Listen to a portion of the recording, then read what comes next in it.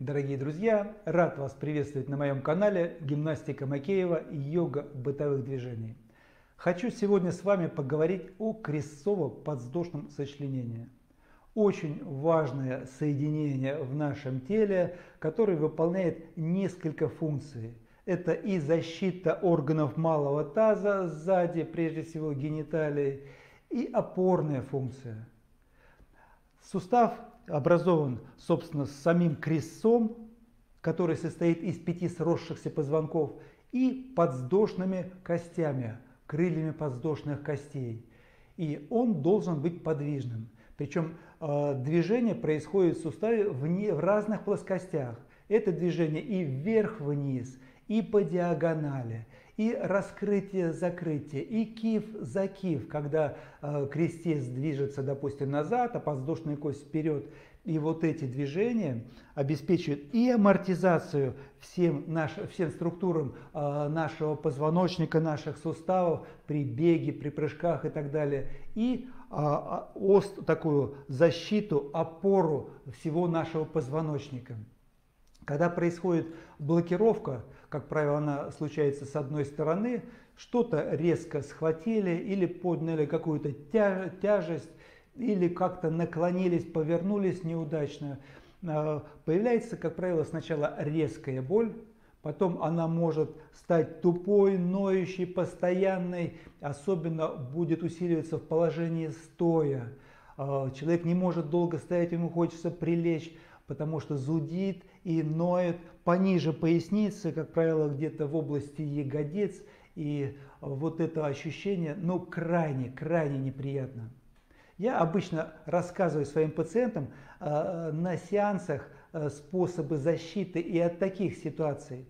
Но иногда приходится по телефону давать консультации. И буквально два дня назад мне позвонил человек из другого континента с благодарностью за то, что я подсказал ему, как справиться э, с этой блокировкой.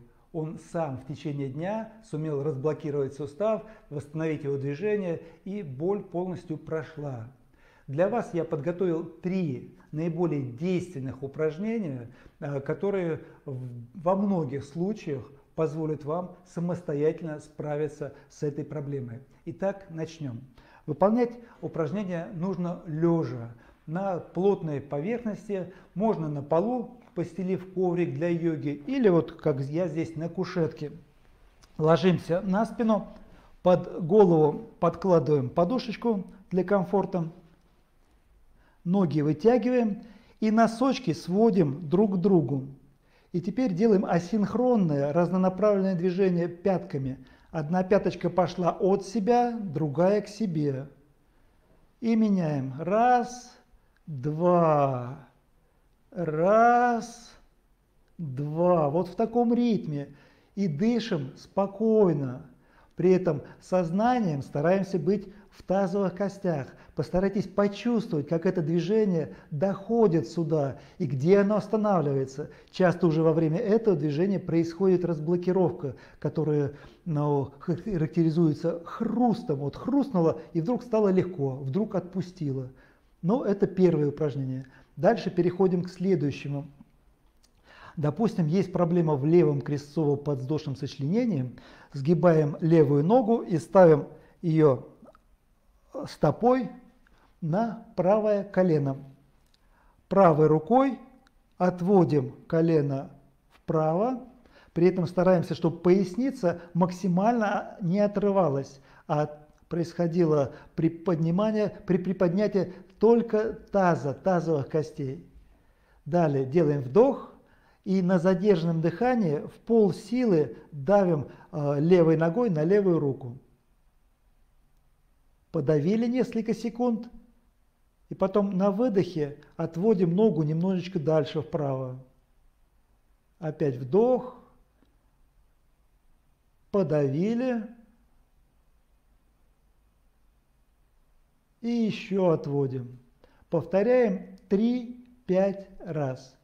И теперь делаем следующее, третье упражнение, ну, которое условно можно назвать полупружинка, чтобы просто вы понимали. Для этого сгибаем одну ногу, делаем вдох, задерживаем дыхание и в пол силы давим коленом на наши руки. Такое статичное напряжение несколько секунд. И потом на выдохе подтягиваем колено к себе, но направление давления не в сторону груди, а в сторону тазобедренного сустава. То есть как бы вот немножко сюда давим. И чувствуем, что пошло движение именно туда, вниз. Опять вдох, подавили несколько секунд. И опять на расслабление подтягиваем колено поближе. И третий. Также достаточно от 3 до 5 таких э, напряжений сделать.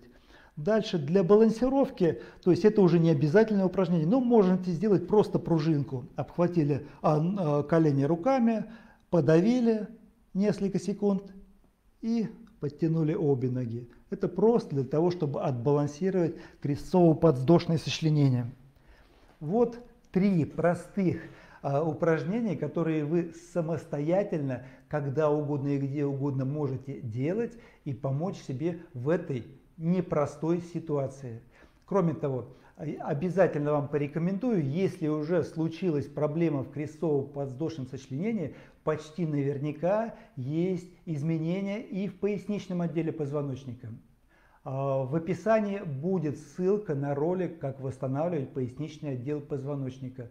А, делайте это в комплексе, чтобы получить не только сиюминутный результат, но и получить надежную, прочную основу, а, на которой, в общем-то, базируются все наши движения, весь наш позвоночник. Делитесь этим видео, оно кого-то может реально спасти от тяжелой ситуации.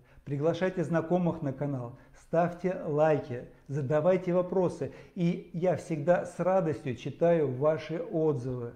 Мне очень, меня очень радует, когда вы получаете результаты и делитесь этими результатами. Помните, это действительно кому-то может помочь и кого-то спасти. Желаю вам крепкого здоровья, надежного позвоночника, здоровых крестцово-подвздошных сочленений и до следующих встреч.